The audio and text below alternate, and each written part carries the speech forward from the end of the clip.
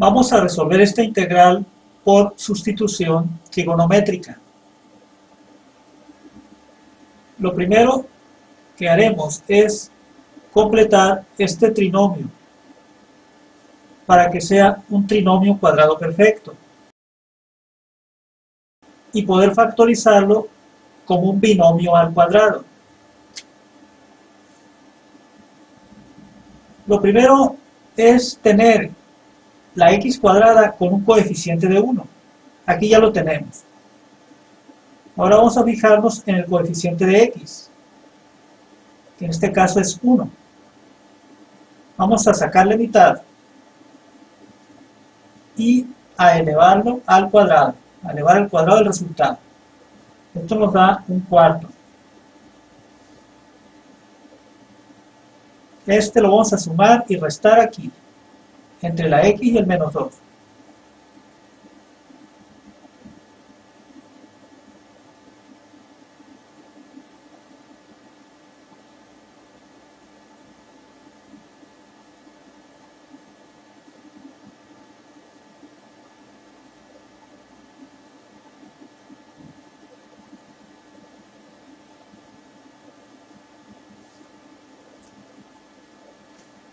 Pues bien, esto es un trinomio cuadrado perfecto. Vamos a factorizarlo como un binomio al cuadrado.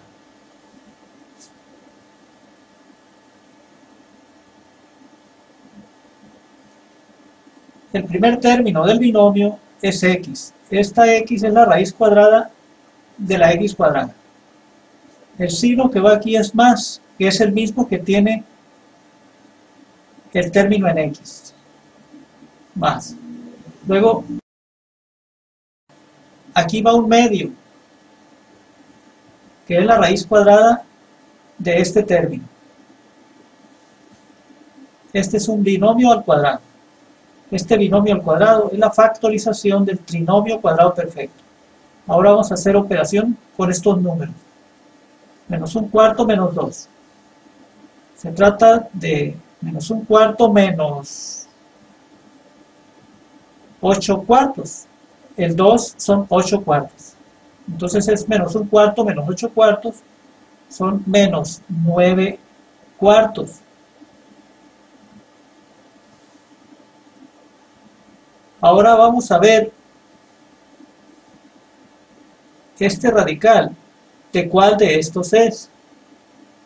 Se trata de una raíz cuadrada que tiene una cantidad variable elevada al cuadrado menos una constante. A esto le llamamos cantidad variable ya que la x es una variable y al sumarle un medio sigue siendo una variable, o sea, una cantidad variable. Esto se parece a esto. Aquí tenemos la raíz cuadrada de una constante por una variable al cuadrado menos una constante. Aquí también tenemos lo mismo, es la raíz cuadrada de, aquí hay una constante que es 1, que no está escrita. Este 1 no está escrito. Una constante por una cantidad variable elevada al cuadrado menos una constante. Es la misma estructura que es.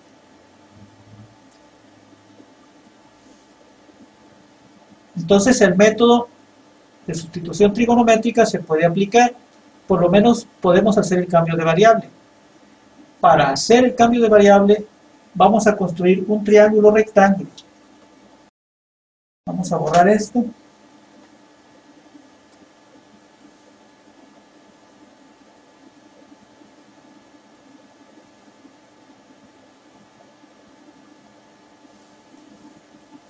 Vamos a determinar los tres lados del triángulo rectángulo.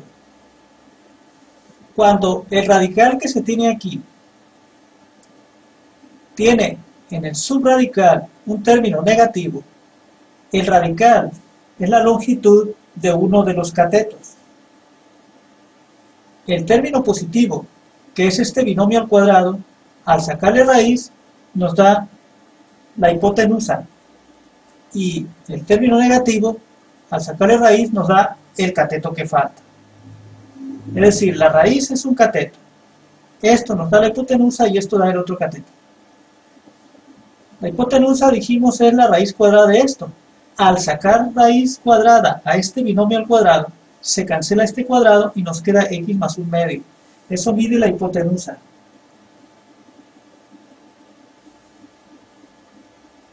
Al sacar raíz cuadrada a esto, al 9 cuartos, se obtiene un cateto. Sería 3 medios. Vamos a ponerlo aquí. 3 medios. La longitud de este cateto. Este cateto que falta es la raíz. Va la raíz.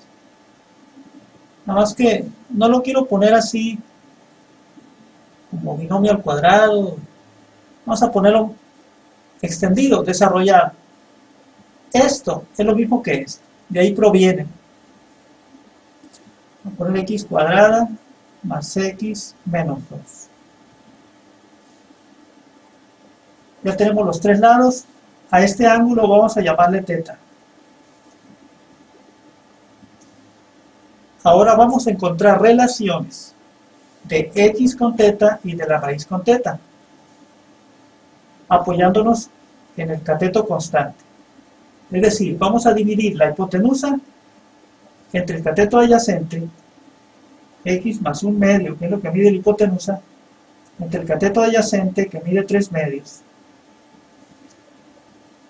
y esto nos da,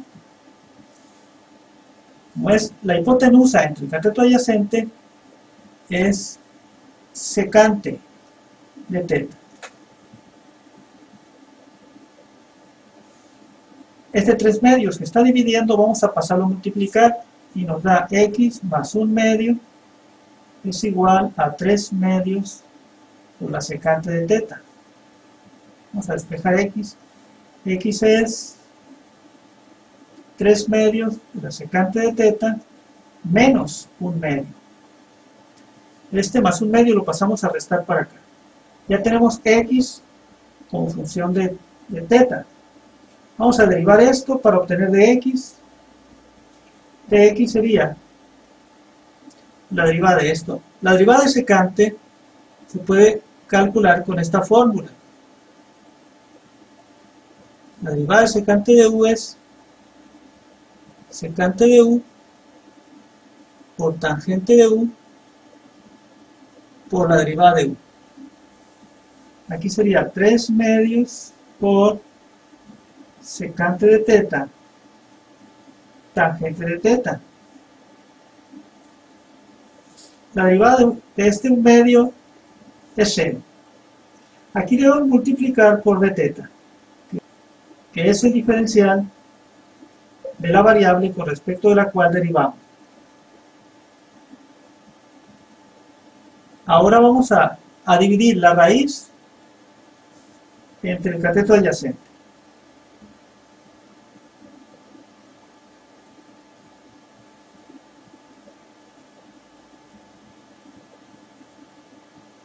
Es cateto opuesto entre cateto adyacente, eso es tangente de teta.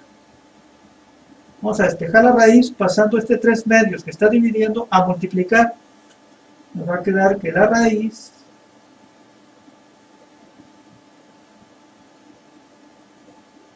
es igual a 3 medios por la tangente de teta.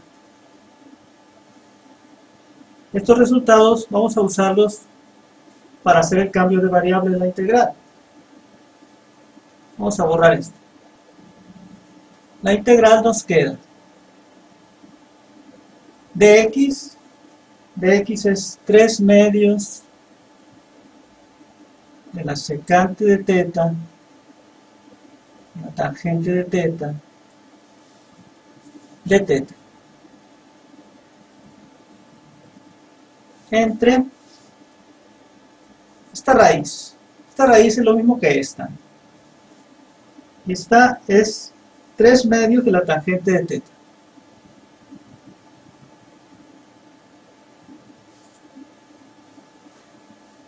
Aquí se puede cancelar este 3 medios con este 3 medios y la tangente con la tangente. Y nos queda la integral de secante de teta de teta.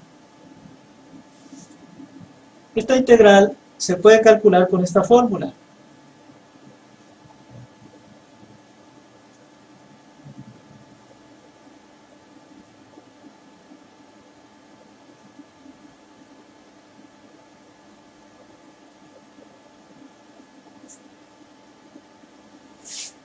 En nuestro caso la u es igual a teta. Nos quedaría logaritmo natural de secante de teta más tangente de teta.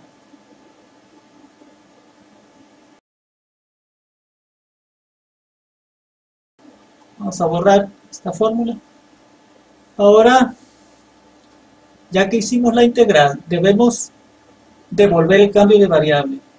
Es decir, debe quedar aquí únicamente x, no teta. Necesitamos secante de teta y tangente de teta como funciones de x. Esas ya las tenemos. Aquí está secante y aquí está tangente. Antes de sustituirlas acá, vamos a simplificarlas. Esta secante se puede poner del siguiente modo. Aquí arriba podemos multiplicar por 2 y abajo también por 2 para que no queden medios aquí. Vamos a multiplicar aquí por 2, o sea, en el numerador, y aquí también por 2. Es como multiplicar por 1, 2 medios. me queda 2x, 2 por x, 2x, 2 por 1 medio, queda un entero, o sea, más 1, entre, aquí se cancela este 2 con este 2 y nos queda 3. Entonces la secante de teta es esta. Entonces aquí vamos a poner, en lugar de secante de teta, esta cantidad. Vamos a hacerlo aquí. Vamos a continuar acá. Es logaritmo natural de valor absoluto de secante de teta. Secante de teta es esto, entonces queda 12x más 1 entre 3 Ahora más tangente de teta. Aquí está tangente de teta. Aquí también vamos a simplificar esto. Vamos a multiplicar por 2 arriba y por 2 abajo. Es como multiplicar por 2 medios para que se cancele este 2. Nos queda arriba dos raíces de x cuadrada más x menos 2 y abajo queda un 3 porque se cancela este 2 con este 2 queda esto esto es tangente de teta. Entonces más más tangente de teta o sea esto. 2 raíces de x cuadrada más x menos 2 sobre 3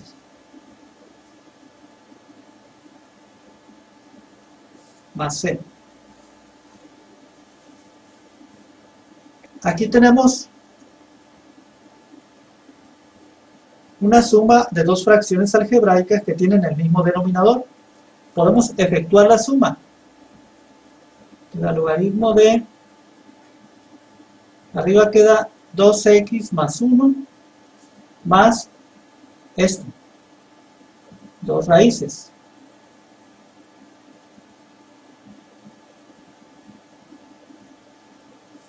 Entre 3, que es el denominador común.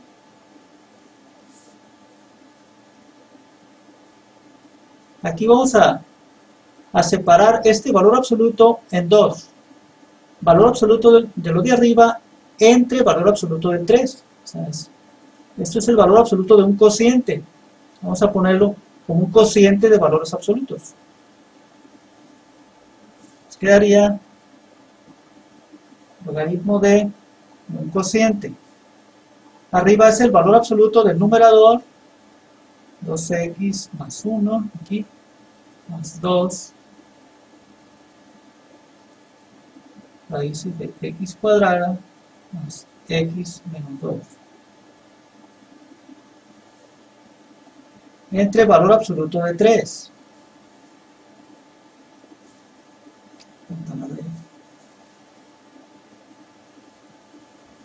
Ahora tenemos el logaritmo natural de un cociente. Podemos poner esto como una resta de logaritmos. El logaritmo del numerador menos el logaritmo del denominador. Por cierto que valor absoluto de 3 es 3, así que podemos no poner las barras aquí. En lugar de poner valor absoluto de 3, podemos nada más poner el 3. Vamos a poner entonces una resta de logaritmos. El logaritmo del numerador, el valor absoluto de 2x más 1 más 2 raíces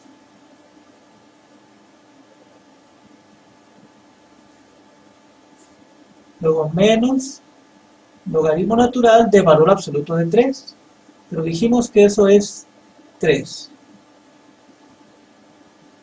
más c aquí a una constante arbitraria se le está restando una constante fija el resultado es otra constante arbitraria. Pero vamos a seguir llamándole C. Es decir, este logaritmo de 3 que se está restando, vamos a englobarlo dentro de C. Va a quedar aquí como C. Nos quedaría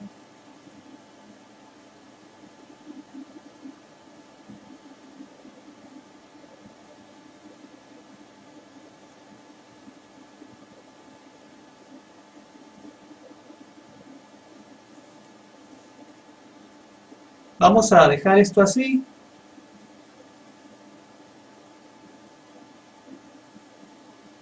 La solución de la integral.